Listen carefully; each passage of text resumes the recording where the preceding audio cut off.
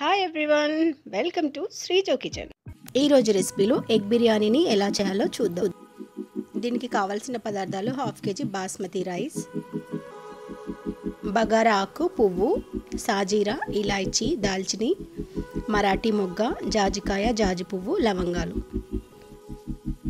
Six boiled eggs three onions three tomatoes కొత్తిమీర పుదీనా పచ్చిమిర్చి సన్నగా కట్ చేసి పెట్టుకోవాలి. ఒక నిమ్మకాయ హాఫ్ కప్ పెరుగు. ముందుగా స్టవ్ వెలిగించి బిర్యానీకి సరిపడే ఒక గిన్నెను పెట్టి దాంట్లో తగినంత ఆయిల్ని పోసుకోవాలి. ముందుగా కట్ చేసుకున్న సగం ఆనియన్స్ని వేసి ఫ్రై చేయాలి. తర్వాత బాస్మతి రైస్ని ఒకసారి బాగా వాష్ చేసి నానబెట్టుకోవాలి. ఈ బాస్మతి రైస్ని పది నిమిషాలు నానబెట్టుకోవాలి.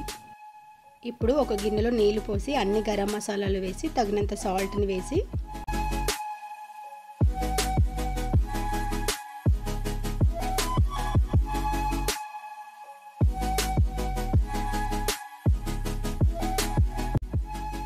ఆయిల్ని వేయాలి. ఇప్పుడు స్టవ్ మీద పెట్టి ఆ నీళ్ళను మరిగించాలి. తర్వాత ఫ్రై అయిన ఆనియన్స్ని ఒక ప్లేట్లోకి తీసేసి అదే ఆయిల్లో గరం మసాలాలు వేసి ఆనియన్స్ని వేసి వేగించాలి.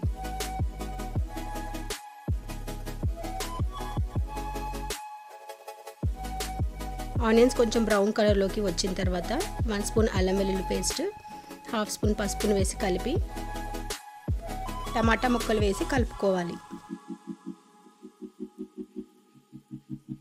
One spoon salt one spoon కారం వేసి half spoon garam masala half spoon ధనియాల పౌడర్ వేసి.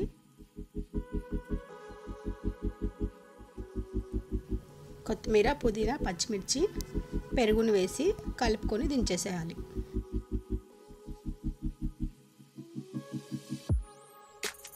తర్వాత ఎగ్స్కి చాకుతో ఘాట్లను పెట్టి ఒక కడాయిలో కొద్దిగా ఆయిల్ని పోసి గరం మసాలా ధనియా పౌడర్ కారం ఉప్పు కొత్తిమీరను వేసి కలుపుకొని ఈ ఘాట్లు పెట్టిన ఎగ్స్ని వేసుకొని ఫ్రై చేయాలి. ఒక థర్టీ సెకండ్స్ వేస్తే చాలు. ఇప్పుడు ఎగ్స్ని గ్రేవీలోకి వేసి నిమ్మరసాన్ని పిండుకోవాలి.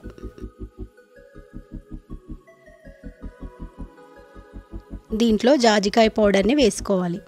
దీన్ని వేయడం వలన బిర్యానీ మంచి సువాసనతో పాటు టేస్ట్ కూడా చాలా బాగుంటుంది. తర్వాత మరుగుతున్న నీళ్ళలో నుంచి మసాలాలు తీసేసి నానబెట్టుకున్న బాస్మతి రైస్ని వేయాలి.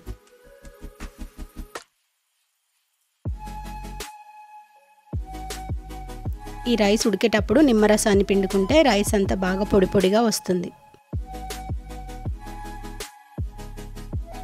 ఈ రైస్ నైంటీ పర్సెంట్ ఉడికిన తర్వాత నీళ్ళని వంపేయాలి.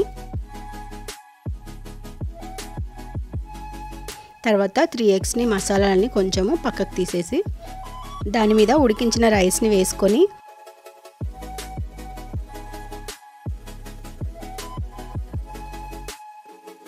ఫ్రై చేసిన ఆనియన్స్ కొత్తిమీర పుదీనాని వేసి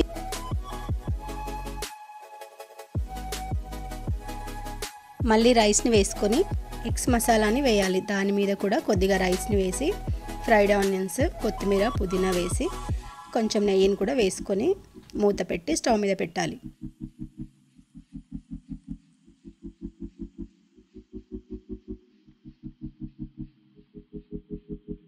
దీన్ని సిమ్లోనే పది నిమిషాలు పెట్టాలి.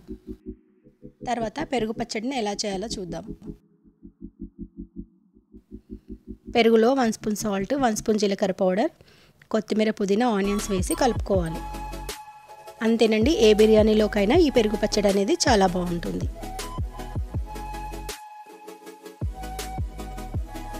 పది నిమిషాల తర్వాత స్టవ్ ఆఫ్ చేసి బిర్యానీని ఐదు నిమిషాలు ఆగిన తర్వాత మూత తీసి ఎగ్స్ని రైస్ నుంచి నెమ్మదిగా సపరేట్ చేయాలి. సైడ్స్ నుంచి రైస్ని నెమ్మదిగా తీసినట్లయితే ఎగ్స్ అనేవి మధ్యలో నుండి కట్ అవ్వకుండా నీట్గా ఉంటాయి. క్రింద ఉన్న మసాలా రైస్కి అంతా కలిసేటట్టు ఒకసారి బాగా కలుపుకొని ప్లేట్లోకి సర్వ్ చేసుకోవాలి. నా వీడియో కనుక మీకు నచ్చినట్లయితే లైక్ చేయండి షేర్ చేయండి నా ఛానల్ని సబ్స్క్రైబ్ చేయండి. అలాగే పక్కనే ఉన్న బెల్ ఐకాన్ని యాక్టివేట్ చేసుకోండి. Thank you.